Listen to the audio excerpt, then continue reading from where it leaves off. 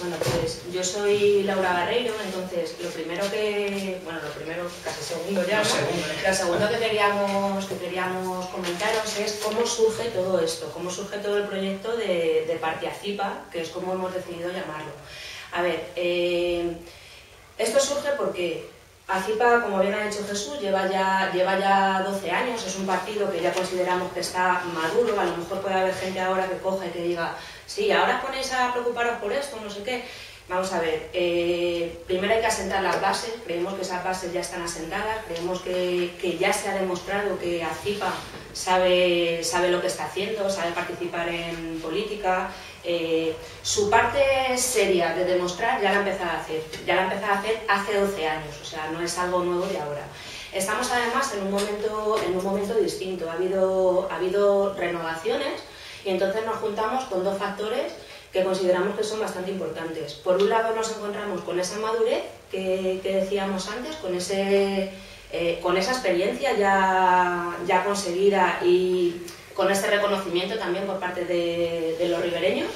Y por otro lado, la gente nueva que hemos entrado, que hemos entrado en el partido, pues venimos, pues, pues eso, ¿no? estamos, estamos con ilusión, se aportan nuevas ideas, se, se aporta nueva savia que, que, hace que crezcan por ahí mayor, mayor creatividad. O sea, surge en ese momento por eso, porque ya tenemos una base eh, bien asentada.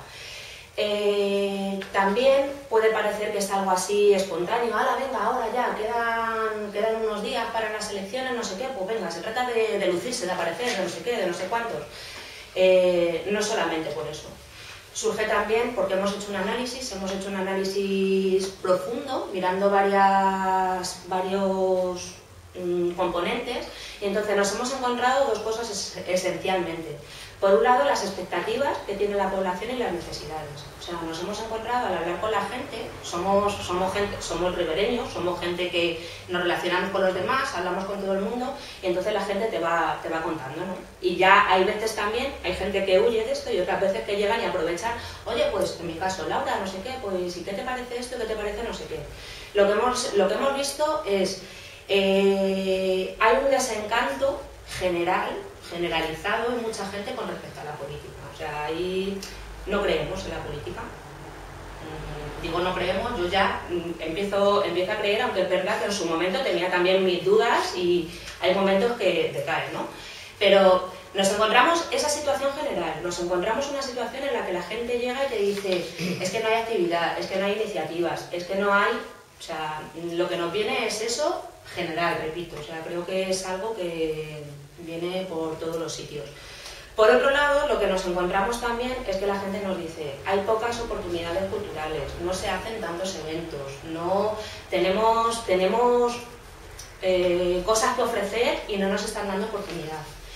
Ahí voy a la segunda parte, la necesidad de las expectativas y por otro lado tenemos los recursos. Aranjuez tiene muchos recursos y tiene muchos recursos que no estamos explotando. Y el principal recurso que tiene, explotando, entenderme el explotando, ¿vale?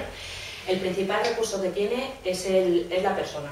Son los ribereños que realmente movilizan un montón de cosas. Tenemos un montón, o sea, es que tenemos expertos en un montón de ámbitos y no los estamos dando su lugar.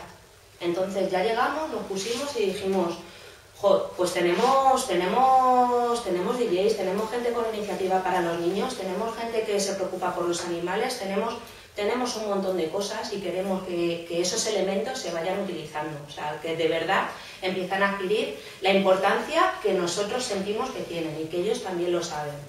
Eh, ahí, al final, nos encontramos eso, creatividad, ilusión, un montón de ingredientes que decimos, pues vamos a intentarlo, ¿no? Vamos a, juntar nuestras ganas con nuestras ganas y vamos a ver qué sale de ahí, insisto, no como algo, venga, vamos a ver qué sale mañana, sino como algo pensado, reflexionado y analizado desde distintas perspectivas, ya que además ACIPA tiene muchos, eh, muchos profesionales de muchos ámbitos. O sea, creo que es algo también que hay que resaltar.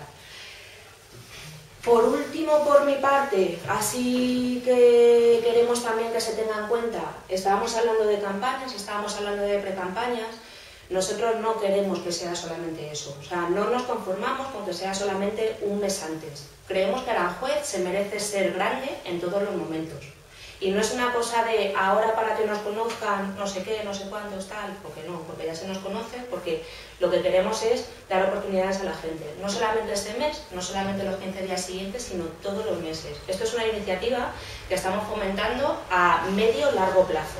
No solamente, o sea, que no es algo que se nos vaya a olvidar el, el, el 24 el 24 de mayo. O sea, queremos ir mucho más allá porque de verdad que creemos que estamos en otro momento y que todos lo merecemos. O sea, de alguna manera sentimos que el cambio está ahí y que si de verdad queremos ese cambio, lo tenemos que fomentar entre todos. Y por supuesto, los ribereños tienen que intervenir en este proceso. O sea, sin ellos es totalmente imposible. ¿Vale?